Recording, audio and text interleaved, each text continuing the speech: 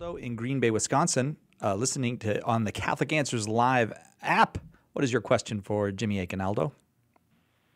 Hello. Uh, my question was How do dogmas come to be and when were they made? Okay. Um, first, we need to start out with what a dogma is. Um, a dogma is a truth that must be both divinely revealed and it must be infallibly defined by the church as something that's divinely revealed. So those are the two conditions.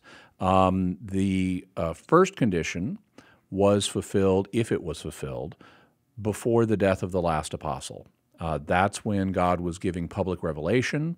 And so, if it's got to be either in scripture or tradition, it's got to be in there, um, either explicitly or implicitly in the deposit of faith, the deposit of revelation that was passed on to the church by Christ and the apostles.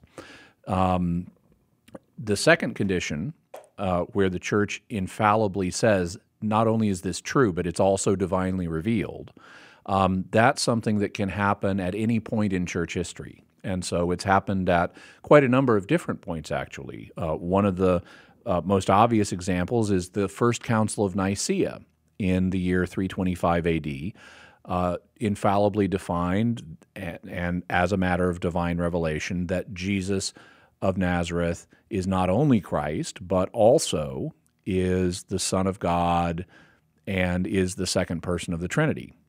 So um, the fact that Christ is divine in the full sense, that's something that became a dogma um, no later than AD 325. You could even argue it was defined earlier by the ordinary magisterium of the church, but it was certainly defined in AD 325. Um, and then many times throughout church history, it will be an ecumenical council that uh, issues an infallible definition of a point of revelation that makes it a dogma.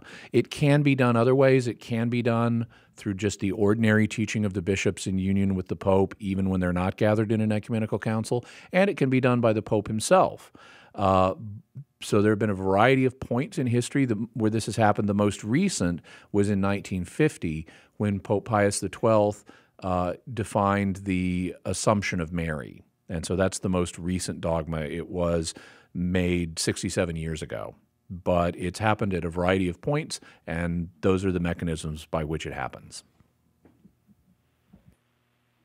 Aldo? Oh, okay. Hope Thank that you. helps Thank you you very much. God bless. You too. Thank you. Thank you very much, Aldo.